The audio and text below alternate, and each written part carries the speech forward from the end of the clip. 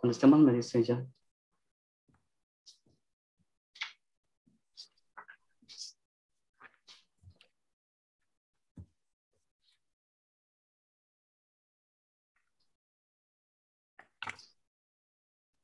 ¿Podemos empezar? Yeah. Hello, my name is Ezequias Reyes Gonzalez. I'm a PhD student in the Language Studies program at Universidad Autónoma de Baja California. And I have the honor of introducing our distinguished uh, guest speaker today. But before doing so, we'd like to welcome everyone to this very special talk, to those joining us in the Zoom meeting, uh, who are graduate students enrolled in any of the three graduate programs offered at the School of Languages, especialidad en traducción e interpretación, maestría en lenguas modernas y doctorado en ciencias del lenguaje. We'd also like to welcome the hundreds of undergraduate students, uh, faculty, alumni, as well as the many others in the audience who are following this live stream. So it is my privilege to introduce Professor Noam Chomsky. That though may prove to be a good example of the phrase easier said than done. The truth is that uh, it is impossible to provide an adequate introduction to Professor Chomsky. Uh, but I do want to say that we are delighted, Professor, and honored to be joined by you, who is uh, Professor Chomsky is, is known to, to be the father of modern linguistics. He's also a philosopher, a cognitive scientist, and a political activist. He is one of the most cited scholars in modern history, one of the most brilliant linguists of the 20th century, and one of the most influential public intellectuals in the world. He is laureate professor of linguistics at the University of Arizona and institute professor uh, emeritus at the Massachusetts Institute of Technology. He has written more than 150 books on topics ranging from linguistics to war, politics, uh, and mass media. His latest one being Consequences of Capitalism, Manufacturing, Discontent, and Resistance, co authored with Marv Waterstone. Professor Chomsky, on behalf of the president of the Universidad Autónoma de Baja California, and Dr. Daniel Octavio Valdez Delgadillo, the dean of the School of Languages, uh, Dr. Lázaro Gabriel Marquez Escudero. I'd like to, and of course, the faculty, the graduate students present here, and the, and the hundreds of people following this live stream. I'd like to express our most sincere thanks for having accepted our invitation to be here today. It's really an honor to have you here. We'll, we have all been looking forward to this day and are extremely excited. The title of today's talk is Generative Grammar and Language Variation. The talk is being live streamed, so we ask that questions are held until the end. Uh, to the audience here in, on Zoom, I'd like to remind you that there's a chat box uh, here on Zoom and we will be taking questions. So keep that in mind and uh, we will ask you to then go ahead and post your questions and comments there. Now, without further ado, I'll turn it over to Professor Chomsky. Professor Chomsky, we are eager to, to hear you. Please take it away, Professor. Thank you very much. Glad to be with you. Sorry it can't be in person. Uh, so we should begin by clarifying the terms. So we're talking about language, we're talking about grammar. Uh, what do we mean by those notions?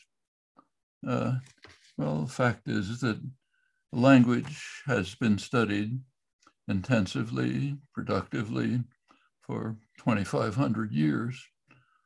Uh, but if you look through this whole record, it's very hard to find any clear statement about what language is. You might try, there's almost nothing there. There are proposals by leading figures, but they don't get us very far.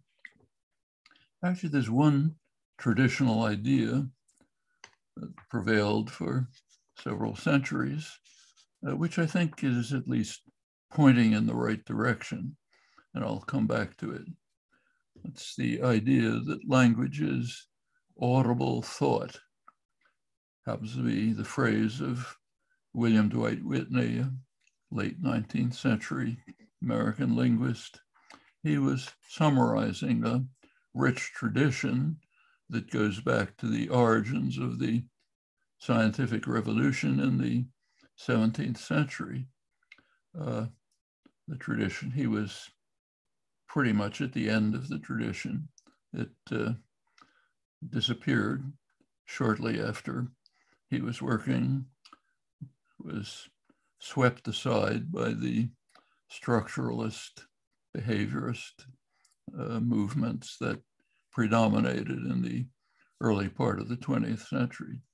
And the tradition was completely forgotten by mid century when I was a student. Uh, no one had ever heard of it. Uh, actually, it was revived in mid 20th century, but from scratch without any awareness that a rich tradition had preceded.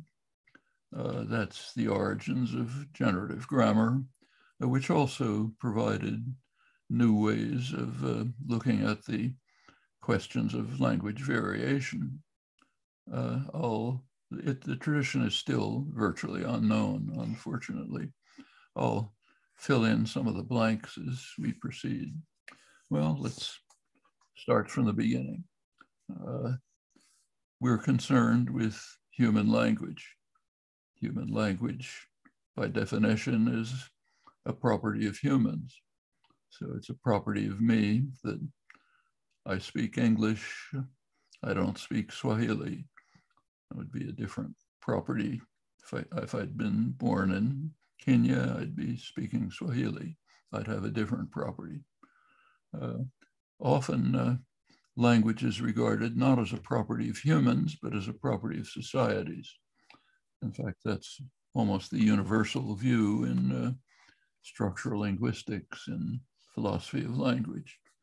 So European structuralism uh, adopted the Saussurean view that uh, language is some kind of social contract, an agreement among individuals, basically part of sociology.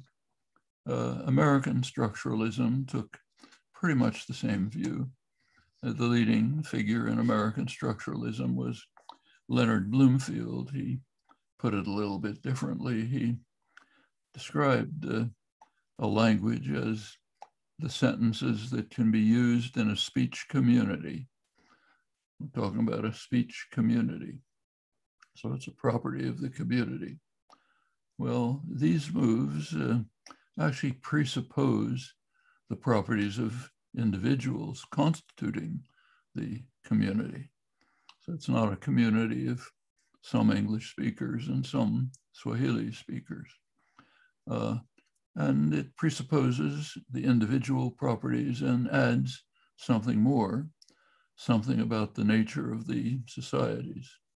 So the concept is basically sociological, not biological, but it builds on the biological properties of humans, uh, the properties that constitute the human faculty of language somehow coded in the brain. Uh, so that seems to be the right point of departure. Well, there's very strong evidence that language is uh, what's called a species property. That is, it's uh, common to all humans, apart from very severe pathology. And it has no significant analogs anywhere in the animal world. So if uh, you find a child in the Amazon who's in a group that's had no human contact for 20,000 years. Uh, bring him to New York. He'll speak with a New York accent, uh, go on to study at Columbia and become a quantum physicist. If you take an infant from New York and put him in the Amazon, he'll be learning all those amazing skills, which maybe some of you have seen. I have, where children with no education or training can somehow find the right trees and pick the right fruit off them and not use the wrong ones and end up very happy and surviving different kind of intelligence and skills and of course their language turns out to be the same basically looks different but when you look at it at any depth it turns out to be essentially the same as the new york dialect's recent discoveries uh, so it's a species property. And it is unique. There is nothing in the animal world that has any analog to it. Uh, that does raise questions. It's uh, raises questions about the, for the study of evolution of language.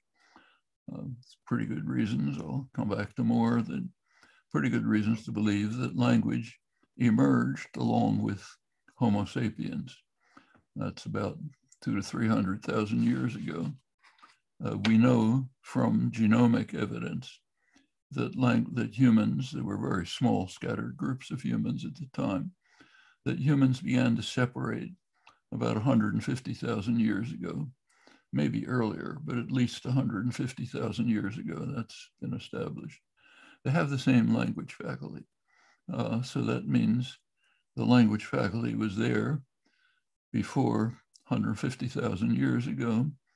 There's no evidence for any significant, meaningful symbolic activity prior to the emergence of humans. Symbolic activities constant, regularly, plausibly taken to be an index of possession of language. Well, if that's all correct, it means language emerged in a very narrow window. Uh, notice that all these times are instants of evolutionary time, flick of an eye. So somewhere in this very narrow window between the emergence of Homo sapiens and the starting of the separation, the language faculty appeared with no analogs elsewhere. Now there are other mysteries. This is one, come back to it. It also poses a problem for trying to understand the, the neurology, the neuroscience of language. It's a very live topic, a lot of work, but very hard to do uh, we know quite a lot about the neurology of the neural basis for human vision. Uh, the reason is we torture animals, rightly or wrongly. We carry out uh, invasive experiments with cats and monkeys. They have the same visual system. So you can learn quite a lot about the human visual system by sticking electrodes into the visual cortex of kittens or raising monkeys under conditions of blindness and so on. And that carries over to humans. You can't do that for language because there's no organism that has anything remotely like it. So even if it were considered ethically permissible, you, there's nowhere to look, which makes the study of language particularly difficult and particularly interesting. You have to find more clever ways to try to found, find out these things, and a lot has been learned. Well, uh, given just this much, uh, we can see that there are going to be two kinds of theories uh, for language. There will be theories for the individual languages. So a theory of uh, the Amazonian language. I imagined the child in uh, theory for the New York dialect of English. Uh, and there will also be a theory of the general faculty of language. It's a much more interesting and deeper question. What is this unique human possession which shows up in one or another form under different uh, external conditions? It's genetically determined it's the basis for acquisition and uh, use of language. The name for this general theory in the modern period is universal grammar, UG, it's called. That's a traditional term which is here adapted into a new context. So you have to be careful about that. It's often misunderstood, even in the professional literature. It's not the same as the traditional theory of looking for regularities in language. That's interesting work, but it's different. There's interesting work on things that generally hold of languages. Uh, so there are very few uh, languages which are of the form object, subject, uh, verb, couple, very rare. That's an interesting regularity. You want to find an explanation for it, but that's not UG. UG's about the genetical, genetically determined base for the faculty that enables you to acquire, use a language, different topic. Uh, well, the genetic basis uh, directs the course of acquisition, but it does it in close interaction with uh, general laws that are independent of language. There's a lot of laws about just how organisms behave, not particular to the organism in question, and those interact with genetics. That's true of all growth and development. There's another factor, of course, the external environment.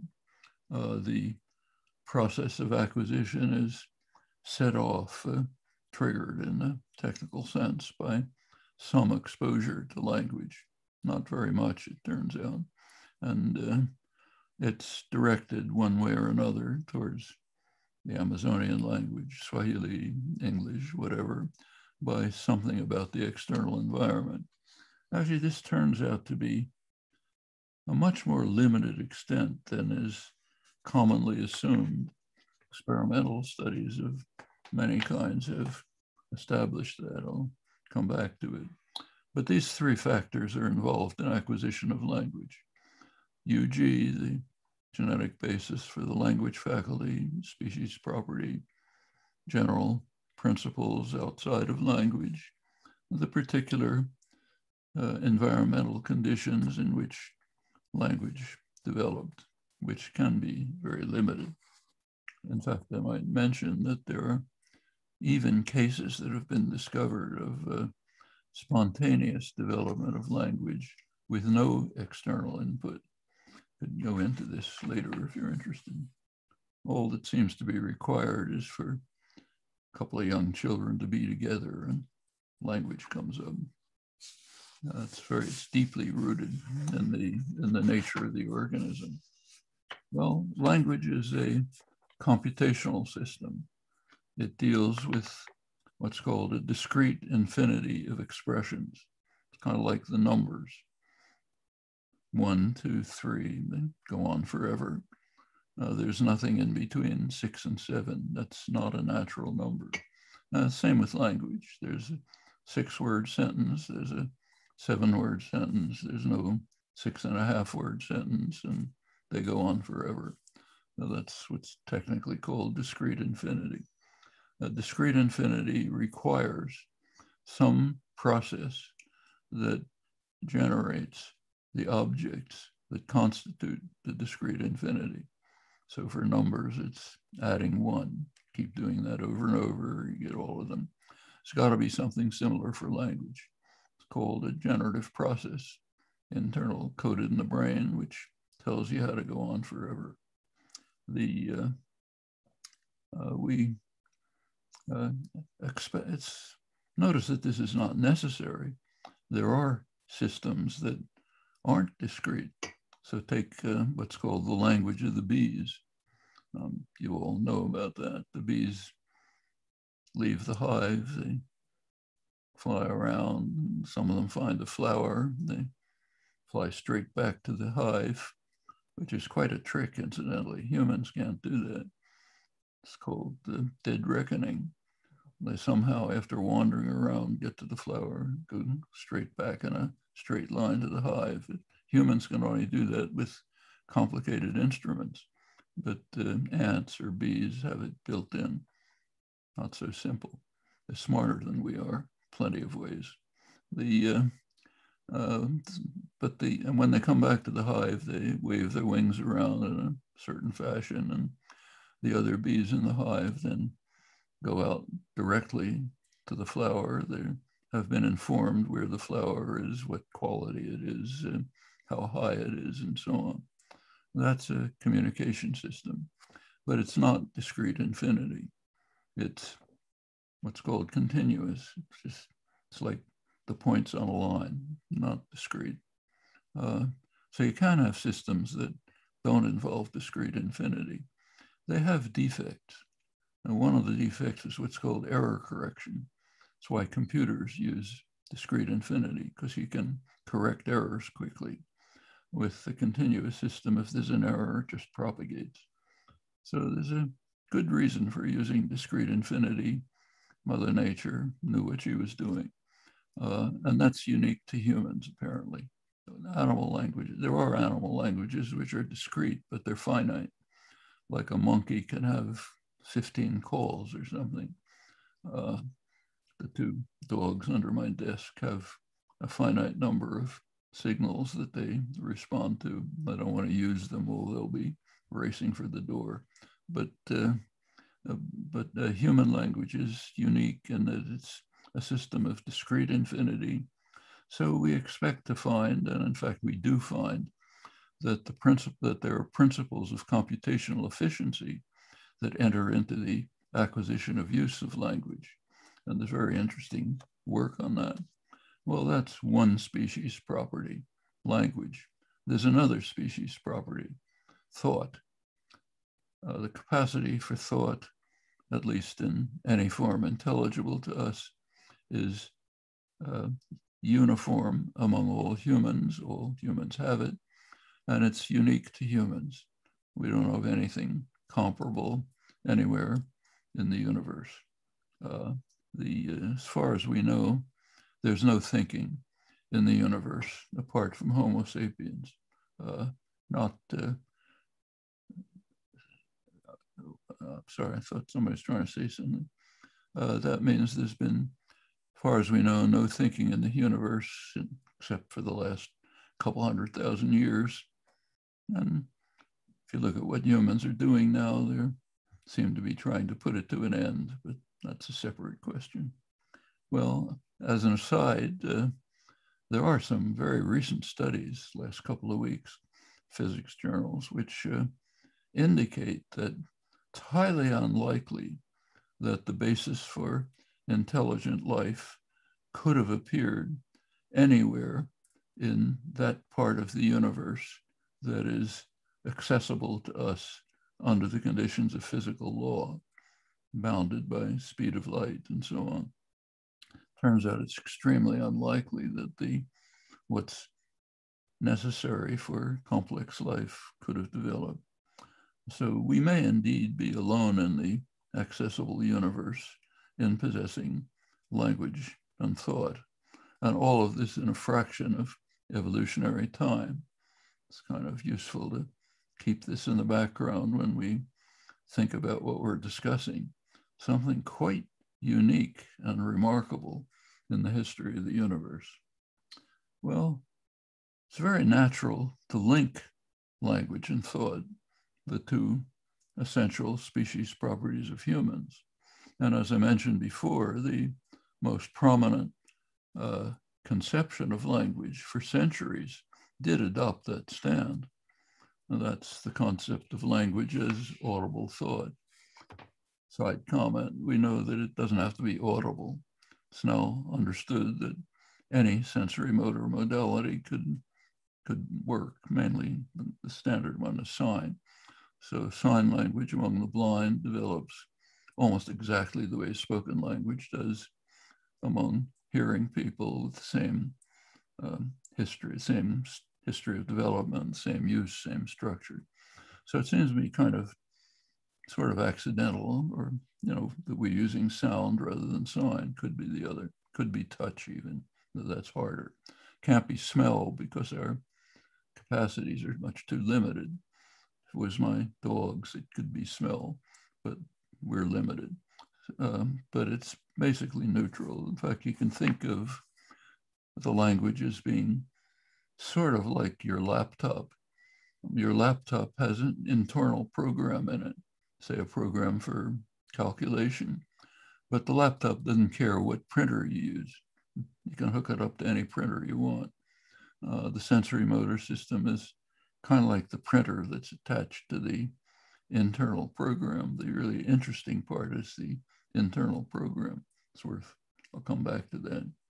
Well, uh, this uh, idea was part of a very rich tradition uh, lasted until the late 19th century. As I mentioned, it was eliminated by the structuralist, uh, behavioralist uh, approaches that dominated in the first half of the 20th century. They're still very much around in other areas in language too. Well, let's just take a quick look at some of the high points in the tradition. They're quite illuminating. Now let's start in the 17th century scientific revolution. Uh, Galileo, his contemporaries were rethinking everything about the nature of the physical world. They were asking questions about things that were taken for granted, which is a good attitude to have. They were not satisfied with the standard answers, like uh, if I hold a coffee cup up and it's got boiling water in it, and uh, say I have my, you can imagine my hand over it. I take my hand away and I drop it. Uh, the steam will rise to the heavens, the will fall to the ground. There was an answer for that. They're moving to their natural place. So the natural place for the coffee cup is on the ground, the natural place for the steam is up there. Galileo and his contemporaries didn't like that answer or any of the other standard answers that were given. So they wanted to know what's really going on. And they also, and that's the birth of modern science. Uh, something similar happened in the case of language, which I'll come back to. The, uh, in fact, right in the mid 19th century, 20th century, it was assumed that basically the questions are answered. Structural linguistics had procedures for analyzing texts. When I was a student, you learned field methods. Here's the way you go out into the field. You collect the data you have procedures by which you can find the elements and their arrangement. You write them down, you're finished. We had answers to everything.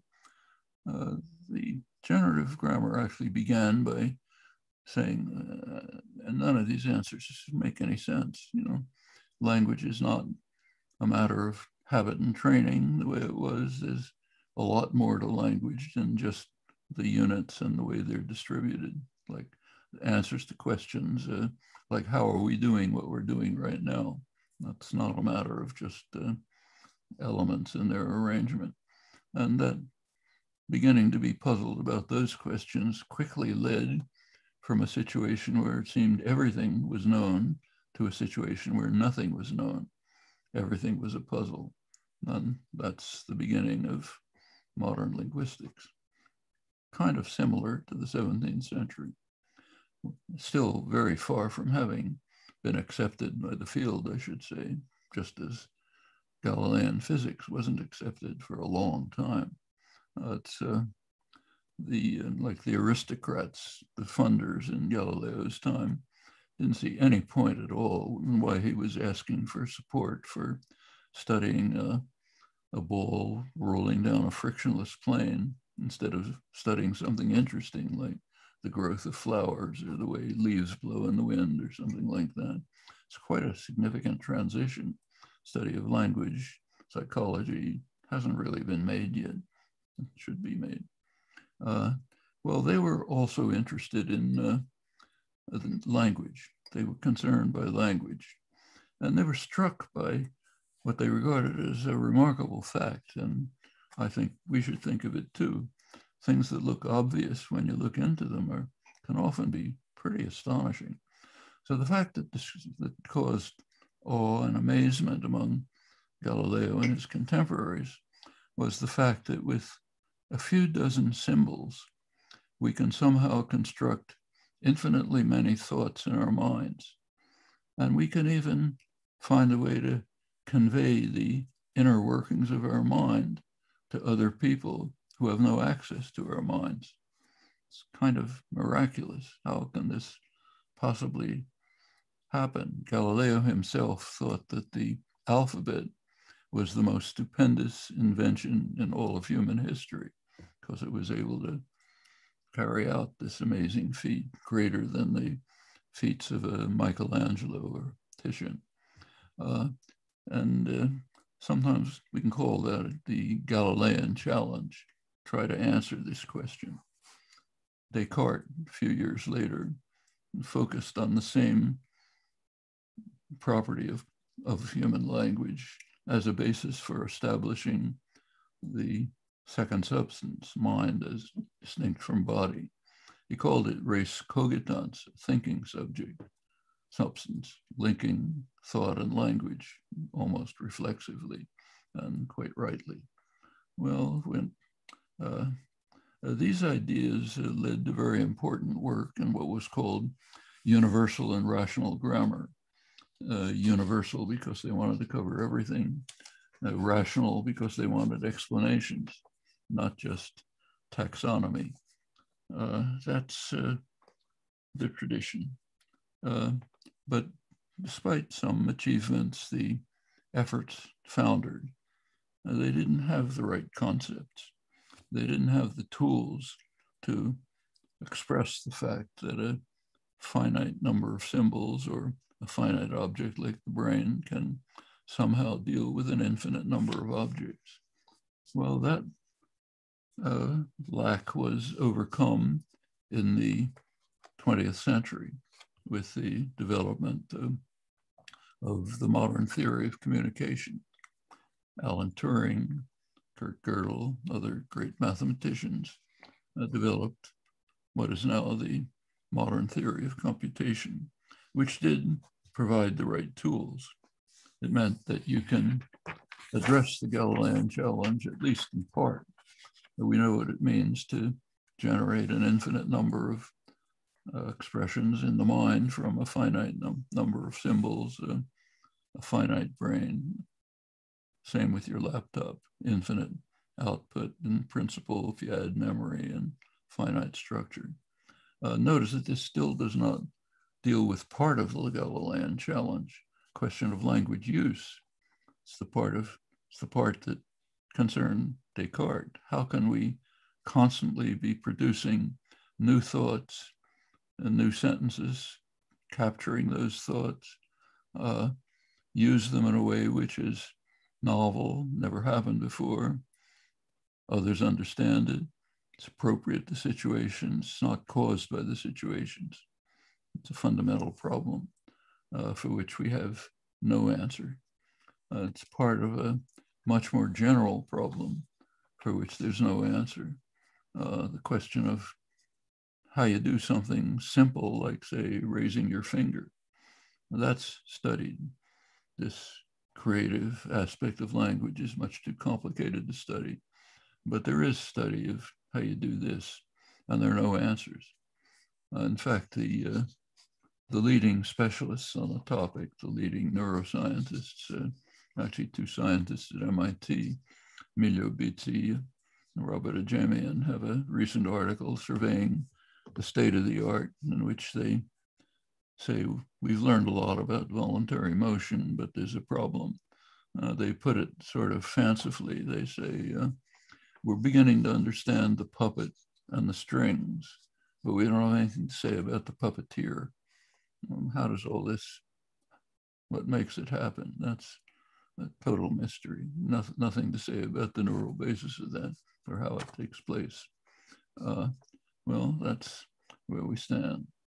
Anyway, a generative grammar is the theory of the particular language, determines the structure of infinitely many expressions of thought. It uh, specifies how they're externalized in some sensory motor system, UG's the theory of the faculty of language itself. Well, uh, uh, there's a lot, uh, language system is enters into perception, enters into production. Uh, it's a lot to say about perception, more specifically, what's called parsing. So if you've taken a course in psychology of language, you learn about parsing. Uh, that's a part of perception, not all of it. There's more to perception. Uh, perception involves all the background understanding that provides a certain interpretation to what you parse, but that's too complicated to study. So what's studied is parsing, which is in fact kind of a reflex. It uses the principles of language and perceptual strategies in a deterministic way to go from a sound or something on paper to parsing of the sentence, sending out its structure, the basis for semantic interpretation. Uh, since it's a reflex, you know how to study it. It's an input output system. Production, you can only very partially study because you run into this serious block about the puppeteer. Can't do anything about that. Uh, but the internal language, what the knowledge that you possess, that you can study. That's like studying the programs in your computer. You can study that. It's a different kind of program, but you can do it. Well, that's pretty much the general terrain. If you're going to be looking for a job in linguistics, uh, the jobs are where the money is, of course. The money's in Silicon Valley. Silicon Valley, they're not interested in any of these things. They're interested in the natural language processing, which is a low level engineering occupation. Useful, well, a lot of engineering. It's nice to have a snowplow clear the street instead of doing it with a shovel, but it's not a contribution to science. Uh, the stuff that makes the newspaper headlines, all the excitement about what machines can do, that's brute force engineering. Tells you nothing about language, nothing about psychology. It's worth keeping that in mind. Uh, but that's where the jobs are. So you may end up there. Uh, again, perfect. Nothing wrong with it. It's, I use the Google Translator. It's useful, but we have to distinguish that from study of uh, science in which you're trying to find, gain some understanding of the way the world actually works. Well, uh, there are by now partial generative grammars for a very wide range of languages of the broadest typological variety. And there is increasing understanding of the uh, innate endowment, the interaction with general principles of computational efficiency that directs the acquisition of language. Uh, there isn't time for extensive illustration, but let me just give you a couple of cases to just illustrate the flavor of the problems that arise when you begin to be puzzled about these questions and look into them. So take the sentence, uh, the shooting of the hunters is a crime, okay? Well, first of all, it's ambiguous. Uh, the hunters could be doing the shooting, uh, they can be shot. So you have to deal with that somehow. The internal program in your brain is somehow determining that. Now, there's also something very puzzling about it, which was never really noticed until recently. That has to do with the inflection of the copula. So why did I say the shootings of the hunters is a crime? Why not the shooting of the hunters are a crime? Well, if you think about it, the way agreement works in natural language, the verb gets its inflection from the nearest noun phrase. Well, the nearest noun phrase here is hunters. So why isn't it the shooting of the hunters are a crime? Now that's a question like, why does the coffee cup fall to the ground and the steam rise to the air? Sort of obvious. What else could it be? But it isn't obvious. In fact, it seems contrary to the general principle that um, so-called um, agreement looks for the nearest element, which it does, in fact. Uh, now, sometimes it can uh, go back to the farther element. So if I say, for example, the, the many conquests of Rome were crimes, were, not was, crimes, even though Rome is the nearest element. So we have a puzzle. They're both ambiguous in the same way. In one case, agreement goes to the closest element. In one case, it goes to the most remote element. That is, in fact, highly puzzling. When you look into it, turns out to be a consequence, an illustration of a very deep universal property of language, one that has many consequences in all languages. Uh, the rules that yield thoughts, the basic internal part of language, doesn't pay any attention to linear order, doesn't even know it's there. It relies only on abstract structures. It's a principle called structure dependence. So what the, the verb, the copula is just asking, what is the structure of the sentence? Structure of the sentence happens to have a complex noun phrase. And it's looking at the structure that noun phrase. You don't hear that. You hear a sequence of words, but the mind constructs the shooting of the hunters as a unit, as an internal structure that the mind constructs and works through all of that, finds out what to agree with. The child doesn't hear it. The child hears a sequence of words, uh, but it only works on this abstract structure, ignores the sequence of words. It's a pretty astonishing fact. It means that uh, it's also known, incidentally, by experiment now that uh, uh, children know all of this as early as you can test. By now, two years old or less, you can begin to sort of test knowledge. They don't exhibit it, but you can test it.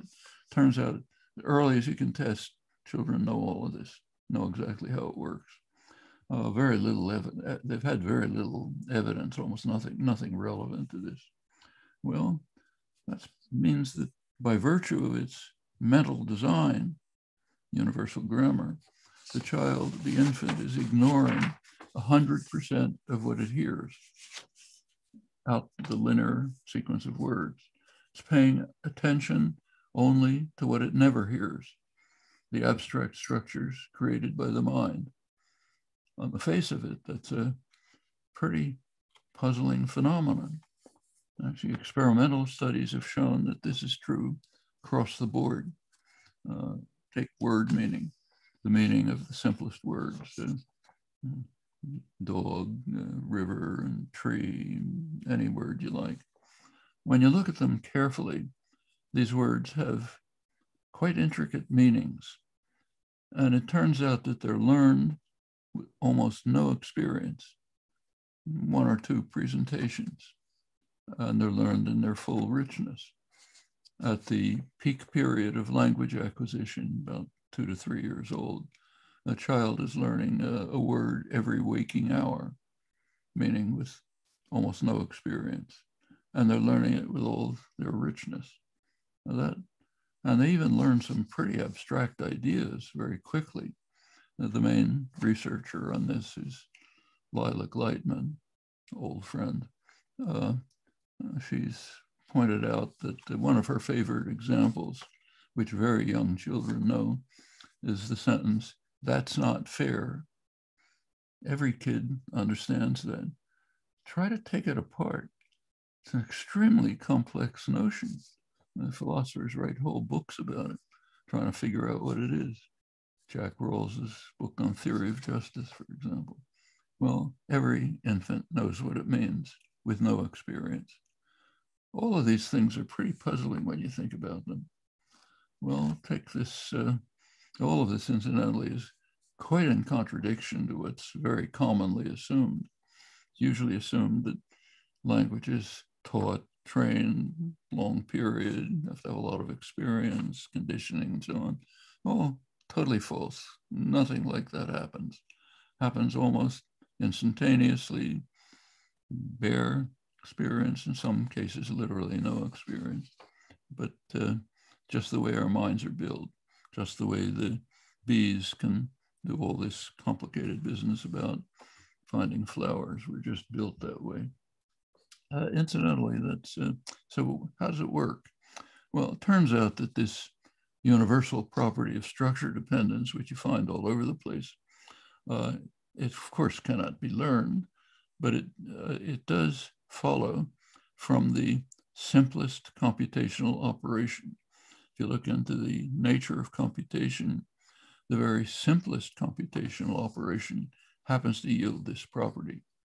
Now that tells you something. Uh, it tells you that in the course of evolution, when human beings came along, some small rewiring of the brain took place, maybe some very small mutation, and it provided the concept of a, a generative procedure, recursive procedure, like adding one. And then Mother Nature picked the simplest way of doing it. found the simplest procedure, stuck that in our heads.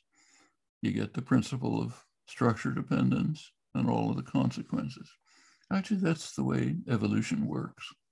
It's not taught that way mostly, but the innovative steps in evolution, like a mutation or a number of others, they lead to some small change.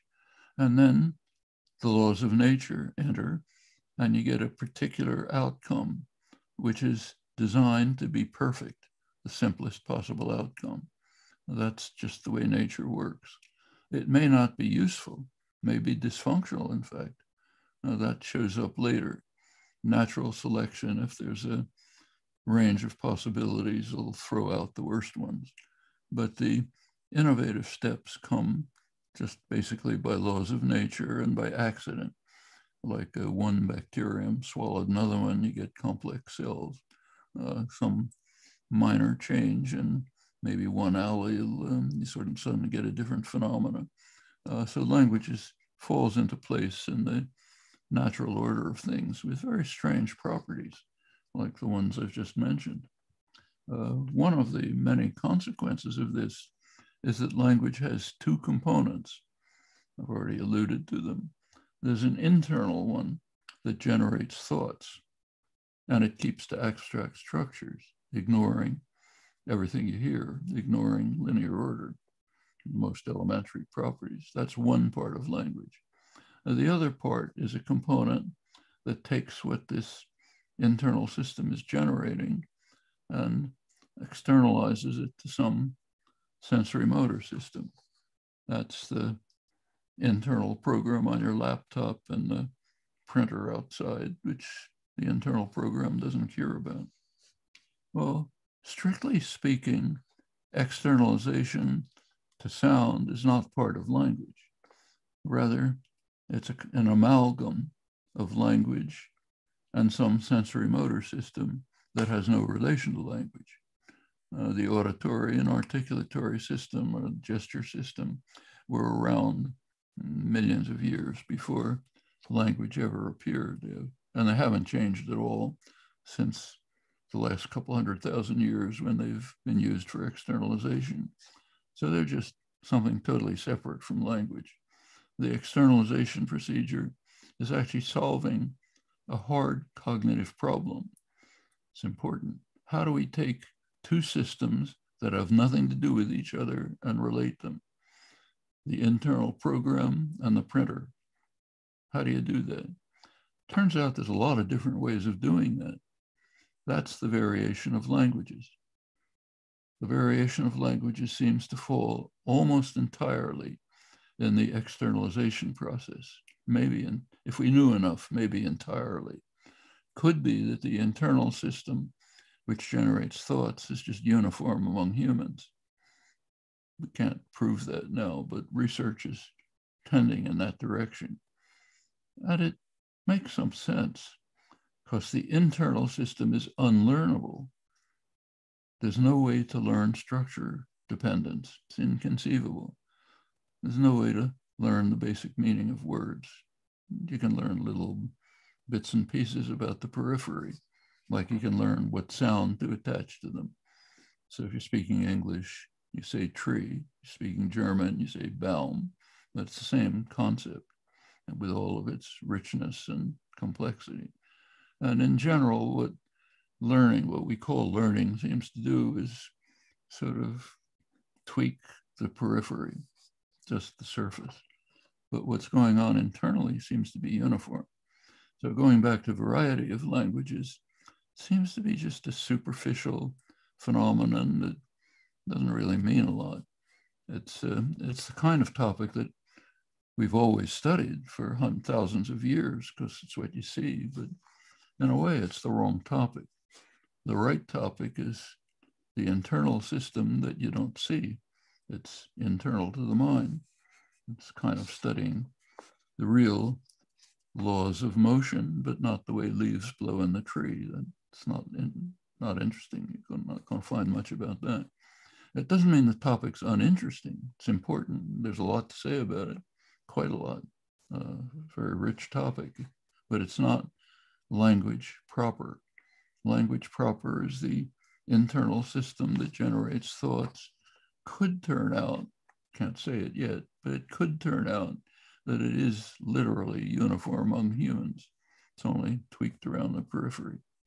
Well, also turns out that uh, the system that Mother Nature produced is sometimes dysfunctional. Uh, in fact, I've just given an example with the copula, which can be tricky, can even yield to cases where you just can't say what you're thinking. So take something simple like uh, disjunction or Bill or Tom. Uh, you can say Tom or Mary uh, were in the room. Uh, you can say the men and the girls were in the room, but uh, try doing it with or. You can say John or Mary is is here. You can say the men or the girls are here. Try saying the men or Mary. Can't be is, can't be are, can't say it. There's no way to express that. The reason, again, has to do with structure dependence. You have to have a uniform property of the noun phrase for the verb to agree with.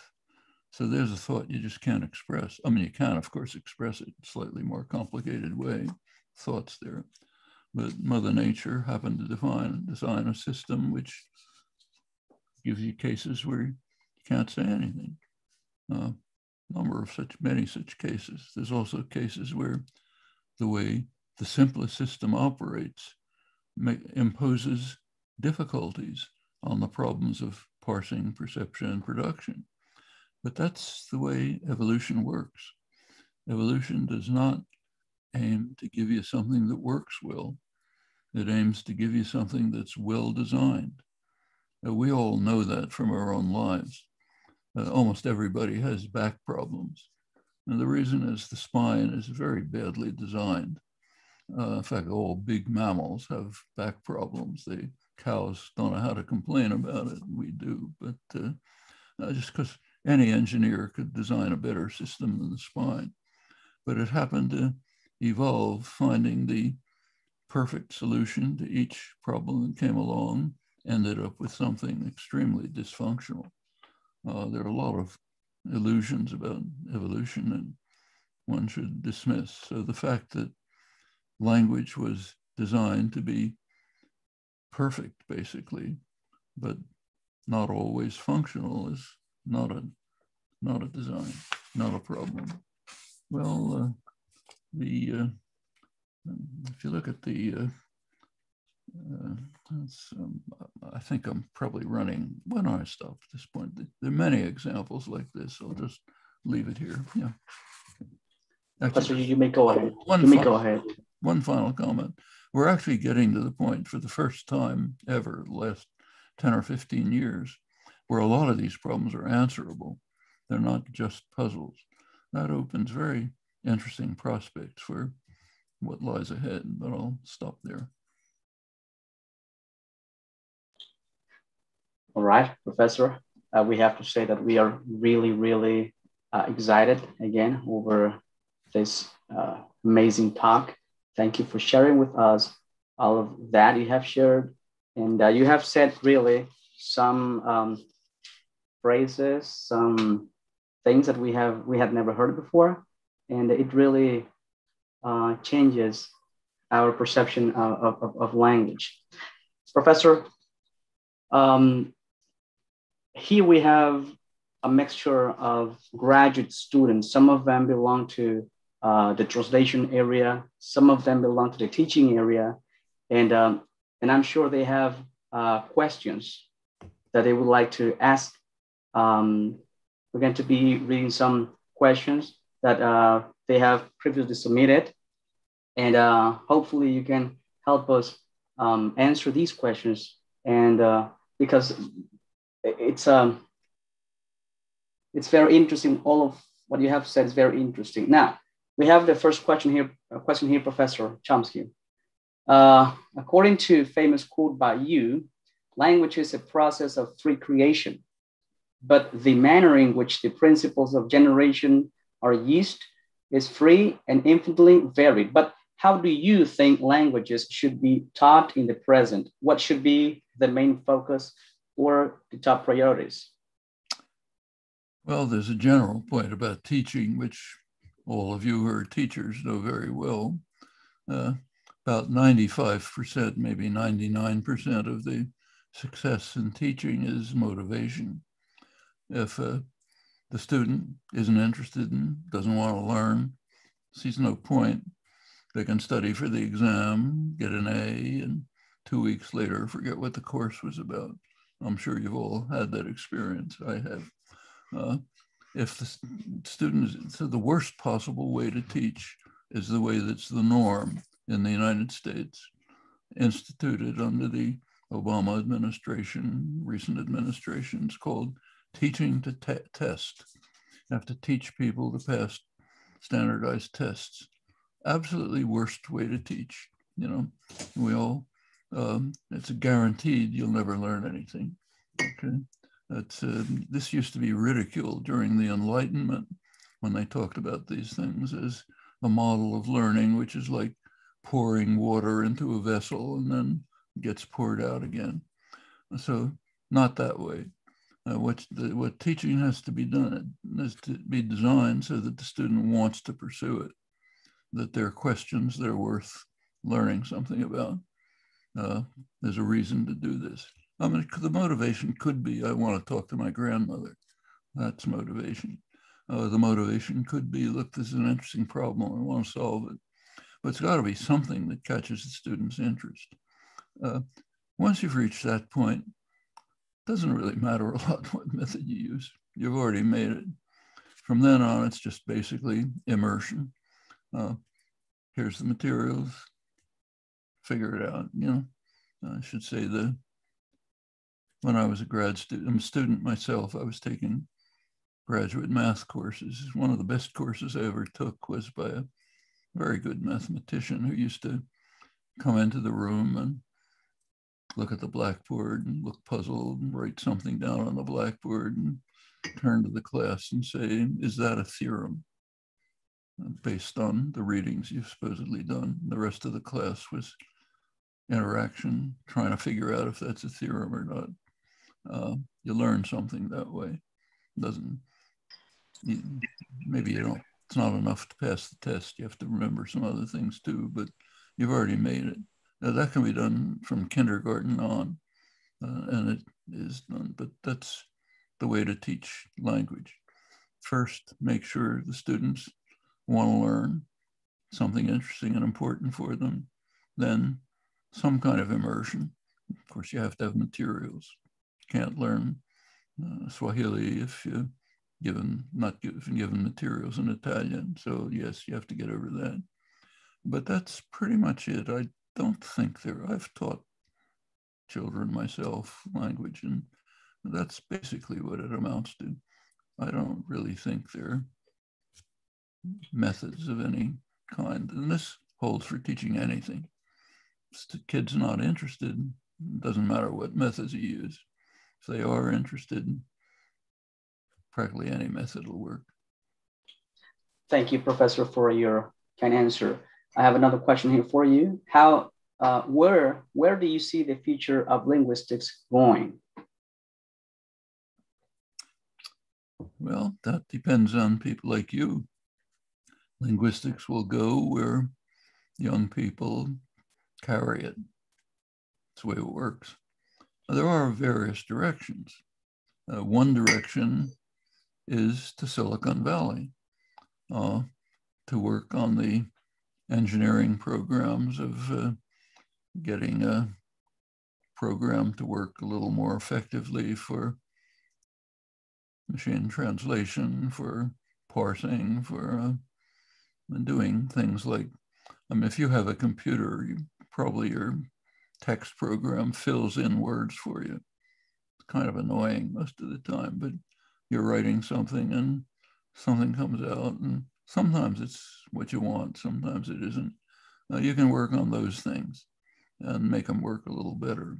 That's the stuff that makes the newspaper headlines. You get articles in the journals about how we now have computers that can write articles. Yeah, they by brute force they can find some regularities and put things together. So it's good for business, excites journalists, but it's not science. I mean, um, another direction in which things could go is uh, what I was just talking about, trying to find the answers to the kinds of questions that Galileo and his successors asked. Why is it working like this? What are the principles that lie behind all of these complicated things? Uh, how can it be that we produce infinite many, many sentences? Uh, what are the principles that determine what these sentences mean and so on? That's very hard. Try to show that what must be true is true, namely that it's fundamentally the same for all languages. We know that it must be true because otherwise nobody could learn any language. You couldn't learn a language unless most of it's already built in. And since we're all the same, it's going to come out the same. Uh, got to be true, but try to show it. Not so simple. Uh, another direction things go is just many save endangered languages languages are disappearing all over the place. That's an irreparable loss. Try to make sure that doesn't happen. Uh, revive languages that are disappearing. That can be done. It's being done very effectively. That's a big contribution, not just for linguists, but for the culture and the people. It revives the communities, revitalizes them, rebuilds the culture, rebuilds their integrity. That's something you can do. In fact, there are endless things you can do. Uh, which way it'll go depends on what interests people. Thank you, Professor. Thank you for your answer. You said things that uh, really motivate us to. Professor, another question, uh, and then you tell me, you let me know when you think uh, it's, it's, it's enough. How do political interests and social move, movements influence language variation? Oh, quite a lot. Uh, we tend to think these days of nation states as being kind of graven in stone. What else could there be? Actually, the nation state is a very recent development, very recent. In fact, it's still developing in many places. Uh, so take, and that connects with language, with this question very closely. So take a country like Italy, for example we think of Italy as a nation state. You go to Italy, you find lots of people who can't talk to their grandmothers because their grandmothers speak a totally different language. It's incomprehensible. We call it a dialect, but it doesn't mean anything. It's mutually incomprehensible as much as uh, English and Portuguese. My wife's Brazilian. When she talks in Portuguese, it's just noise to me. But uh, and in a way, they're both dialects of Indo-European. But uh, in Italy, there are lots of languages which are disappearing. It's not just indigenous languages. And they're disappearing because the nation state is being formed. It's still in the process of formation. And that's happening for power reasons. Certain part of Italy gained power over the others, imposed its power, they run the television stations, they run the newspapers, the educational system. So their language is becoming the national language. It's in the process of happening right now. And that's happening all over Europe. And you go back a century, the same was true in France. Actually, I had a student, graduate student, got his PhD working on German. He wanted to go to Germany to continue his work. So he managed to get a job in Cologne, Germany. His job was teaching German to German students because their local dialect was so different from German that they'd never be able to get a job. So he had to teach them German. Well, if you go there today, you don't do that anymore. They all speak standard German. In fact, they speak English. But uh, all of that is uh, simply the matter of way power systems work. It's imposed, it's in the process of imposing nation states, national languages, sometimes international languages, So there's a very close connection between uh, how political power influences language variation. In fact, it tends to destroy language variation very quickly. Uh, on the other hand, social movements are sometimes increasing language variation, like the revival of endangered languages. I'll give you one example from where I spent most of my life, Eastern Massachusetts, Boston. Uh, Eastern Massachusetts is the territory of the mostly the Wampanoag Indians who were exterminated by the settlers, like all of the country, huge process of genocide. Uh, there's still a few remnants, often Cape Cod somewhere. Uh, the language hadn't been spoken for a century. There were no speakers. But uh, one of my colleagues is one of the great modern linguists, Ken Hale, died recently, unfortunately, but a great linguist. Uh, he, uh, he found some woman from the Wampanoag tribe, Jessie Littledoe her name. She came in, became a student at MIT under his tutelage. Uh, two of them started to work on the remnants of the language. There were missionary texts, and they have comparative evidence, and they were able to reconstruct the language. The language now has its first native speaker in 100 years. Jessie's, Jessie Littledoe's daughter, now seven or eight years old. She revitalized the whole tribe. Everybody's learning the language. Culture revived. They're pursuing their land rights for the first time. Lots of things are happening. New society developed, rich society, uh, new language. Well, that can be done too. It's happening in a number of places. So going back to the question, social movements can affect language variation. They can preserve and develop languages in the cultures and the societies that speak them. It's not just a language, it's cultural wealth, richness of historical tradition, of thought, of understanding, and so on. Uh, lots of things get lost if a language disappears. Thank you, Professor. As I mentioned to you before, we have students here of the three graduate programs that the School of Languages offer. So we have a question here from a translator. Professor, from your perspective, what would you say is the importance of metaphors in communication and language learning? Let's see, I better if I see it. Is it, oh, what's the importance of metaphors? Well, we're using them all the time. Almost everything we say involves some metaphoric use. Uh, even just take the term language. I mean, and for the for a, a scientist, let's say a pure scientist, a language is just this thing coded in your head. But we certainly use language way beyond that. Um, when we talk about what you and I are now doing now as language, but that's basically metaphoric. It's uh, extending the concept of the internal notion, the scientific concept, to a wider range. When we talk about the language of the bees, it's even more metaphoric. Talk about the language of the stars, even more metaphoric. And that's true of just about everything. Um, we're constantly using metaphors, idioms, uh, all of them extensions of the core literal content of language. Uh, just about almost everything you say. Uh, these idioms and metaphors are very interesting. You can't make them up in any possible way. You can make them up only in very limited ways.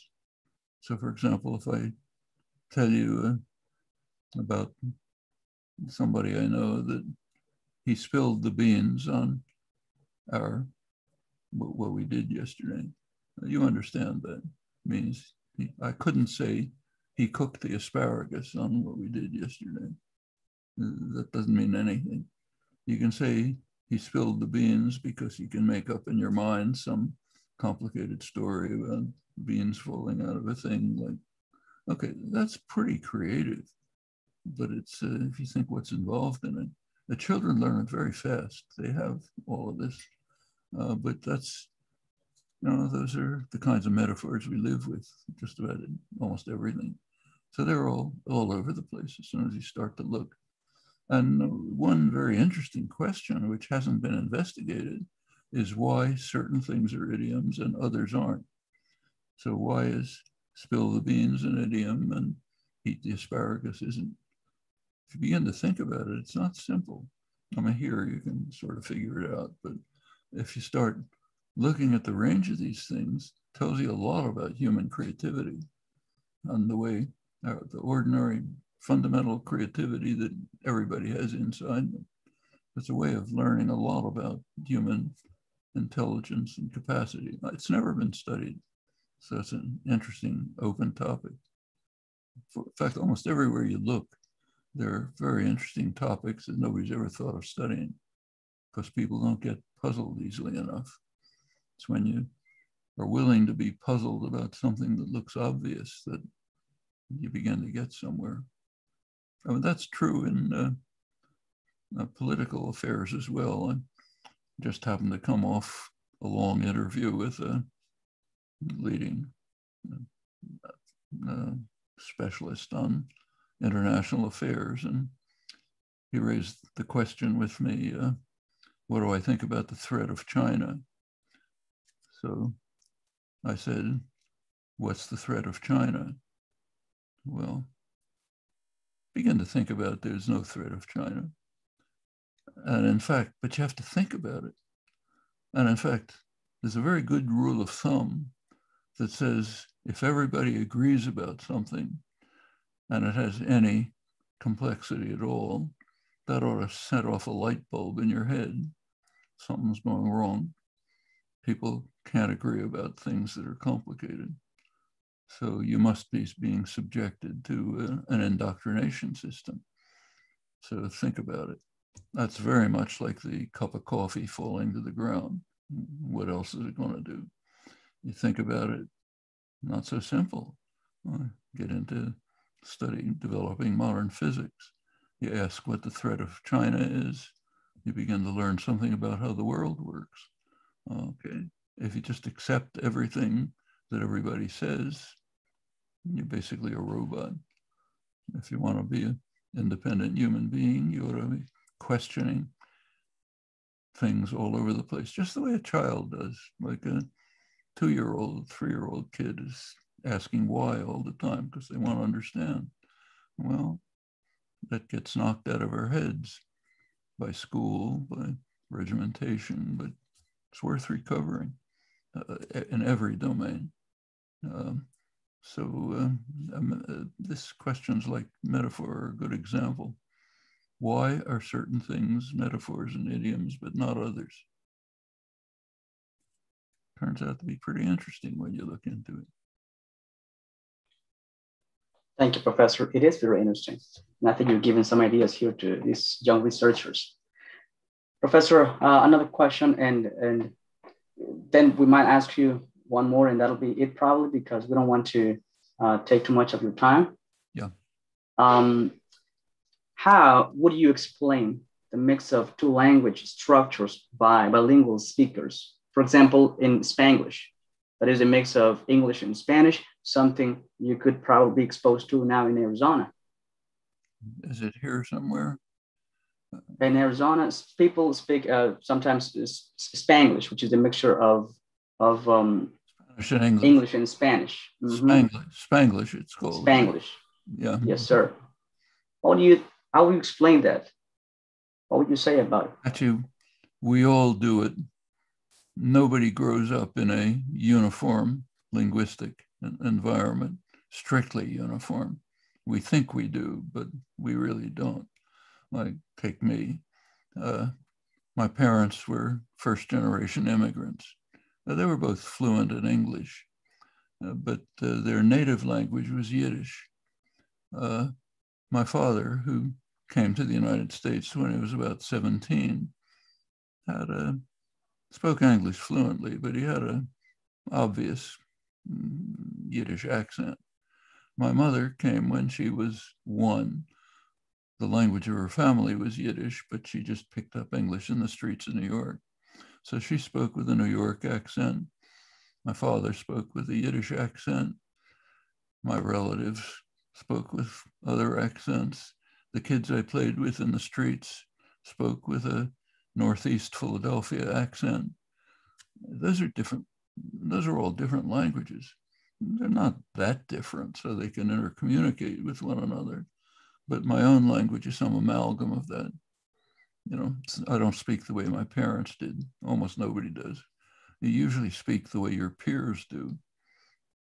Nobody knows exactly why, but that's I had much more contact with my parents than the kids on the block, but I speak the way they spoke.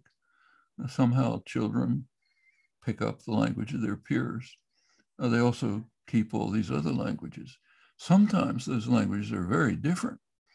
Like it could be that your parents speak Spanish or monolingual piece, speakers of Spanish, uh, kids on the street are speaking English. You pick them up, you speak them both natively in normal circumstances. Uh, there are many parts of the world where kids grow up speaking four or five languages. West Africa, for example. You talk to your mother this way, talk to your father a different way. They come from different tribes. You talk to your grandmother some other way, talk to the kids in the street another way, uh, talk to adults some other way. In fact, kids often don't even notice that they're speaking different languages until a certain age, maybe four or five, you suddenly realize, hey, these are different languages. It's just different ways of speaking to people. I mean, I've seen very funny examples of this. Like a friend of mine whose parent who grew up in a Yiddish speaking environment, but spoke English because that's what the kids in the street did. But when he went to school, first time he was in school, the teacher called him up to the desk and he spoke to the teacher in Yiddish because that's the way you talk to adults, you know, and uh, uh that's the way it is children don't even, you can, we don't know how many languages a child can learn, but at least four or five without any problem. And they're, they're just, they're, they're, you're perfectly native in all of them. Um, the language faculty, whatever it is, is highly productive. Thank you, Professor. Uh, lastly, we have a question here that comes from the people who are following this uh, on YouTube. It says, Professor Chomsky, what are your thoughts on gender neutral pronouns for individuals and inclusive language? Depends how people feel about it. There's no right or wrong. Um, there was a time when, uh, not many years ago, I grew up uh, th- throughout all my life when the normal way of referring to Afro Americans was Negro. Now you can't even say the word. You can't even refer to the fact that people once used it. Okay. Uh, I'm Jewish. I don't like it if people, you call me kike, let's say. Oh, okay, that's me. Uh, uh, there are uh, people who don't think we should use he as the neutral pronoun. Okay, so let's use something else. Uh, people's sensibilities should be taken into account. There's nothing general to say about it. If uh, Afro Americans don't want to be called by what's now called the N word, you're not allowed to say it, fine, let's call them something else. Uh, take Native Americans. Uh, should they be called Indians? Well, actually, in Latin America, that's acceptable if you're an Amazonian Indian, called an Indian, you don't see anything wrong with it. Uh, American Indians don't like that. A lot of them. Okay, so you accommodate people's sensibilities. There's no right or wrong about it. Thank you, Professor Chomsky. Professor, um, we have been just, uh, we have enjoyed this uh, talk. We have really enjoyed that. And you can see, I think you can see our faces here on Zoom. And uh, we are really thankful, really happy that you have decided to spend some time with us.